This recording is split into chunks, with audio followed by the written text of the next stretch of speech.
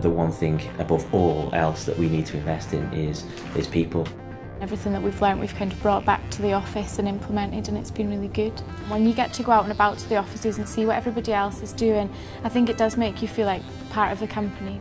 It's been a really positive experience working with Salford University. We've had some real fun uh, developing the programme. We've had the right level of expertise um, given by the, uh, by the university that's married together with the sort of need that we have in our company.